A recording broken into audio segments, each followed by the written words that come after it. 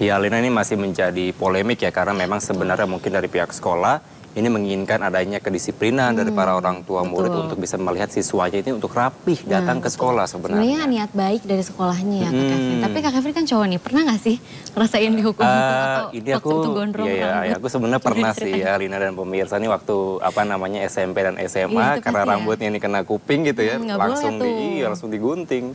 Akhirnya aku langsung botak tuh gitu. Oh langsung potong langsung ya? Mm-mm. Langsung cukur sendiri tapi Kak Kevin bukan dicukur. Iya, cukur kata bang cukur dong. Tapi intinya lihat dari situasi ini atau peristiwa ini ya harus Iya. adanya uh, penindakan yang tegas dan juga aturan-aturan yang Hmm, memang betul. uh, bisa dilihat begitu Jadi- dari Kementerian Pendidikan Nah, ya. Jadi orang tua juga bisa mengerti lah ya Kak Iya. Kevin. Betul kayak gitu Baik, pemirsa. pemirsa kita ke informasi selanjutnya di mana puluhan orang dari korban robot trading net menggelar aksi unjuk rasa di depan gedung Kejaksaan Agung Kebayoran Baru Jakarta Selatan. Ya, para korban mempertanyakan kelanjutan penanganan hukum yang sudah disidangkan di Pengadilan Negeri Tangerang, di mana eksepsi terdakwa dikabulkan oleh hakim.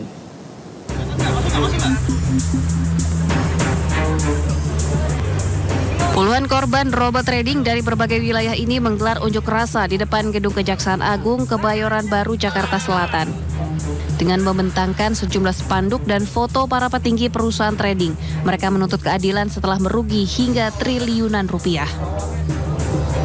Pendemo juga mempertanyakan kelanjutan penegakan hukum di Pengadilan Negeri Tangerang di mana eksepsi terdakwa dikabulkan hakim. Selain itu, pengunjuk rasa meminta proses keadilan tidak dicampuri pihak lain yang merugikan para korban. Kan sudah ada eh, Bareskrim sudah kerja keras, Bareskrim sudah bikin menyiapkan bukti harusnya itu valid. Kenapa ada profit gitu? Harusnya gugur gitu.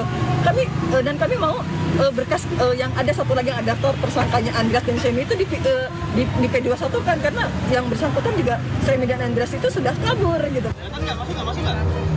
Para korban berharap pihak berwenang menuntaskan kasus penipuan robot trading net 89 dan dana mereka dikembalikan. Dari Jakarta, Rizky Falupi, iNews melaporkan.